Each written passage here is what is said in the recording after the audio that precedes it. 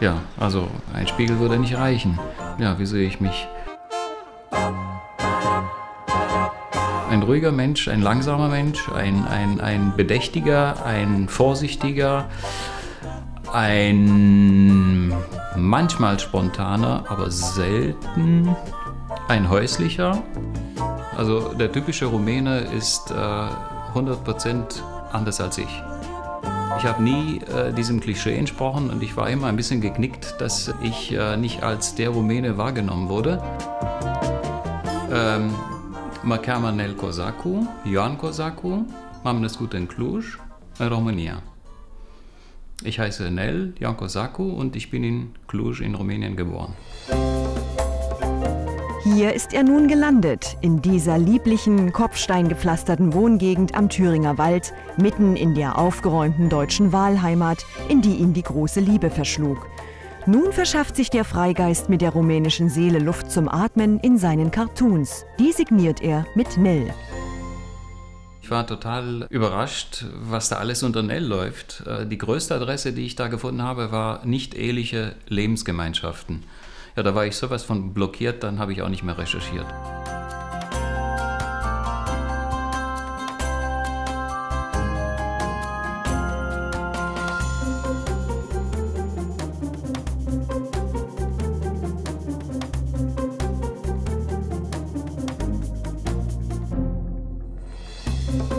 Nell spielt auf dem Papier mit dem ganz normalen Wahnsinn des Alltags. Äußerlich längst glücklich eingedeutscht, fühlt er im Herzen immer noch als Rumäne.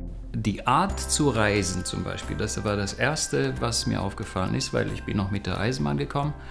Man war in einer Abteilung zu sechs oder zu acht und äh, man schaffte es über, über halbe Stunde oder dreiviertel Stunde oder zwei Stunden oder noch länger kein Wort zu wechseln. Also wildfremde Leute, die zueinander nur Nettigkeiten austauschen, bitte, danke, darf ich und äh, so, aber sonst nicht. Und diese Schwelle ist äh, in Rumänien wesentlich niedriger als hier. Also hier pflegt man den gepflegten Abstand. In Klausenburg aufgewachsen, verbrachte er als Pädagogensohn eine lehrreiche Kindheit. Mit genügend Raum für Fantasie, die den Knaben glücklich wachsen und gedeihen ließ und ihm eine positive Weltsicht auch im Hinblick auf das Unwesentliche einpflanzte. Dann kam er als Designstudent in die DDR an die Burg Giebichenstein. Seine Karriere in der ostdeutschen Möbelindustrie war für ihn so ernüchternd, dass er seine Ideen lieber freiberuflich im Cartoon auslebte. Zensur statt Freiheit verträgt nicht jeder. Dort habe ich zum ersten Mal äh, gemerkt, was Zensur heißt. Die habe ich dann gespürt, auf eigene Haut.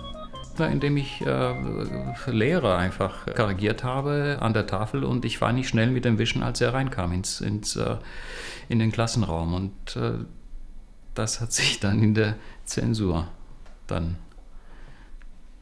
wieder gespiegelt, später. Nell ist ein Mann, der ohne große Worte und Gesten auskommt mit kämpferischer Sanftmut, die erheitert und nicht verletzt. Politische Karikatur habe ich eigentlich nicht gemacht, weil die Zeitungen waren Parteizeitung und da hatte ich sowieso keinen keinen Zugang. Und äh, es hatte keinen Sinn, irgendwo zu gehen und sagen, äh, hier will ich was veröffentlichen. Man hat gewusst, was, was ankommt und was nicht. Also es war keine Tür an der Stelle. Ich hätte mit dem Kopf durch die Wand gehen wollen. Vielleicht hätte es noch geklappt, weiß ich nicht.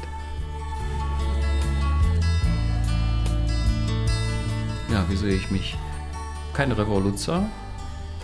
Ich würde die Revolution äh, kommentieren wahrscheinlich und ich würde sie begleiten, um sie zu dokumentieren, aber ich würde wahrscheinlich nicht derjenige, der, der äh, die Richtung angibt.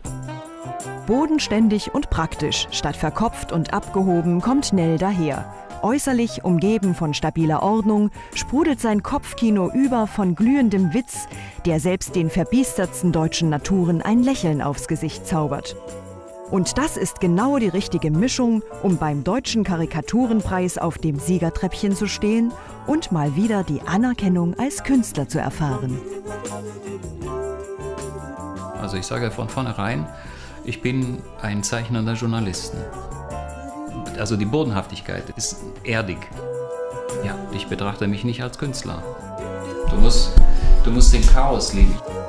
Du musst viel, viel ähm, unangepasster sein als Künstler. Ich, ich schwebe nicht in den künstlerischen Wolken, also da habe ich sehr früh gemerkt, äh, habe ich nichts zu suchen und äh, ich komme klar damit.